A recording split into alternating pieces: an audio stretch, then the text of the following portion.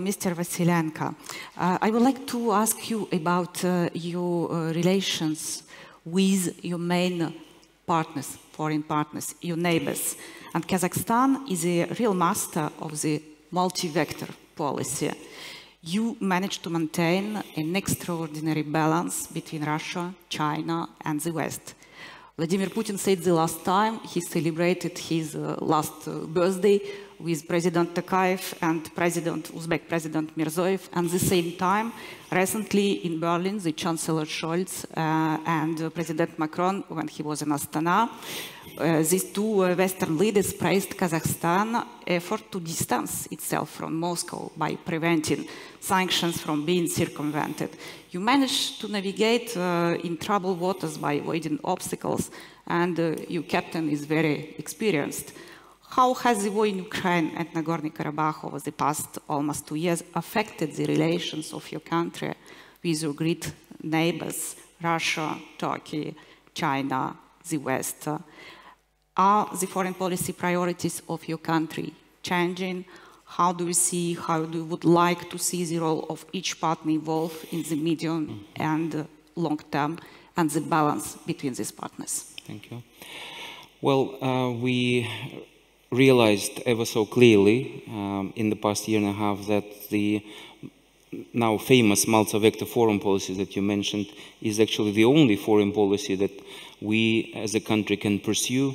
A country of 20 million people, a neighboring one country of 1.5 billion people, another country of 140 million people, and uh, a landlocked country, the largest landlocked country in the world. So you can only build positive, uh, mutually respectful relations with your neighbors and with, with others, and that's the only way forward.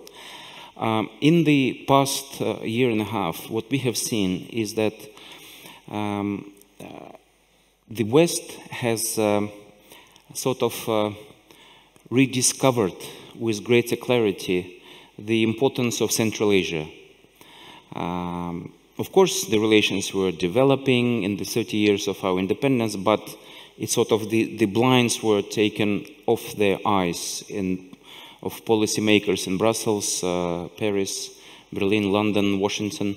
And uh, this intensification of contacts, of political contacts, and the strengthening of these uh, diplomatic efforts on, the, uh, on behalf of the West is very much welcome um, by Kazakhstan, as again, this is uh, again part of the, of the general equation for our foreign policy, because uh, naturally we continue to strengthen, develop our cooperation with Russia, with whom we share the longest continuous land border in the world, 7,500 kilometers, and with China, our two largest neighbors. Generally, I think it's important to highlight that um, in our region, uh, perhaps three um, uh, themes, uh, three dynamic, three dynamics are taking place. One is that uh, the challenges are really aggravating as far as security is concerned, and I mean primarily water security, water scarcity. Uh, that's a big, big challenge for Central Asia. Climate change is another one, and uh, we heard just now uh, from uh, the Emirati minister that uh, if um, Greenland melts even one quarter of it, then the water in the oceans will raise two, by two meters. Well, in Central Asia already, this climate change is twice as fast and as worse as globally. And it's already creating droughts, it's creating problems, etc. Then the, there are things such as the lack of um, uh, agreement between countries such as Kyrgyzstan and Tajikistan over their borders. So, and then there is a challenges, uh, set of challenges emanating from an unstable situation in Afghanistan, uh, which, which we should always also not forget about. Um, so that's one trend. The second trend that we are seeing is the uh, growing desire by five Central Asian countries to work together.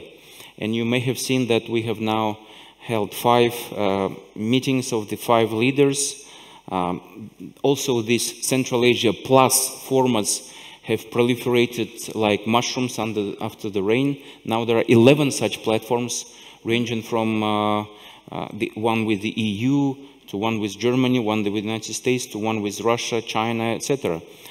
Um, but uh, um, the third, the third uh, challenge, the third dynamics that we see is this growing engagement by the outside partners. So it's not just the West, it's also Russia, it's also China, it's also Turkey uh, that really, really intensified their efforts to be present in Central Asia, to develop cooperation, to invest, to, if you will, to pull uh, ourselves towards themselves. Frankly speaking, uh, we in Central Asia do not like this kind of uh, um, great game speak, great game terminology again suffices to mention that a few days ago, Bloomberg published a story uh, headlined Macron lands in Putin's backyard.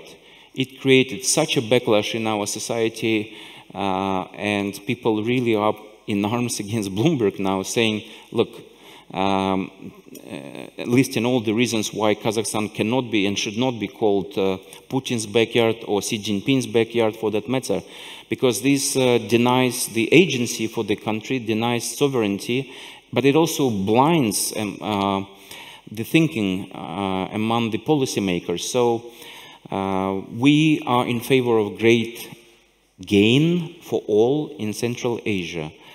we think that there is enough room for uh, the constructive engagement by all parties.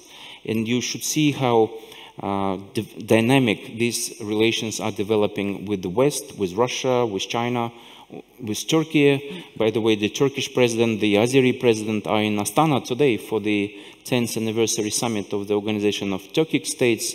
So these all kind of formats are proliferating and uh, Central Asia, Kazakhstan including, are very much engaged uh, as uh, players in this game, if you will. Thank you very much. Armenia moves in uh, my sense more and more in the same way of diversification and multi-vector policy. For example, Armenia's military and uh, security relations have always been very close to Russia. The uh, um, 102nd Russian military base is located in Gyumri. Uh, there are Russian arms sales. Uh, by the way, lastly, uh, Russia uh, didn't deliver it, the weapon already paid for, if I understand properly. And Armenia's border with Iran and with Turkey are protected by Russian border service. At the same time, Armenian Prime Minister Nikol Pashinyan recently did some very strong declaration. He spoke uh, of the need to diversify security relations because Russia failed to fulfill its allied obligations during the escalation on the Armenian-Azerbaijan border. And uh, recently, the Armenian president said on France uh, to TV channels that the country needs a new military partner besides Russia.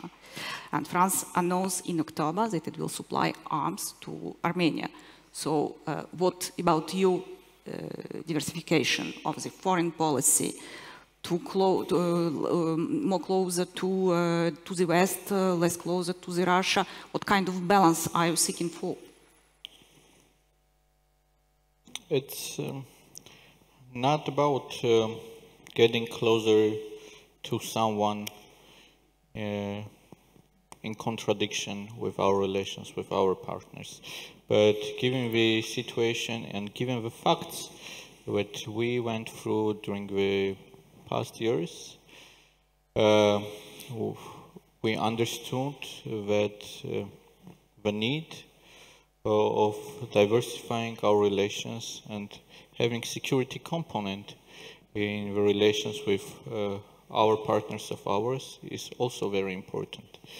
Um, unfortunately, uh, in 2022, September, when uh, Armenia's sovereign territory was attacked and was occupied, uh, Russia and uh, other CSTO partners of ours didn't have a, even a political will uh, to state that uh, the territorial integrity of Armenia was violated. Um, on, on the contrast, uh, European Union and EU member states came with uh, very strong uh, statements, but not only statements and uh, also actions. The deployment uh, of European EU monitoring mission to Armenia Azerbaijan interstate border and in the mandate of this uh, mission was clearly mentioned that it's deployed to Armenia Azerbaijan interstate border meaning that uh, there, cannot be excuses that the border is not delimited, etc., etc., what we heard from our CSTO colleagues. Um, this was uh, uh, an example how we were trying to diversify uh, our the secure or not to di diversify but to recreate and rebuild a new security architect architecture for our country. Um, on the other hand, uh, you're correct. We are di diversifying the markets from where we are buying uh, weapons, which are for defensive uh, purpose only. And France is one of the partners. India is another partner of ours.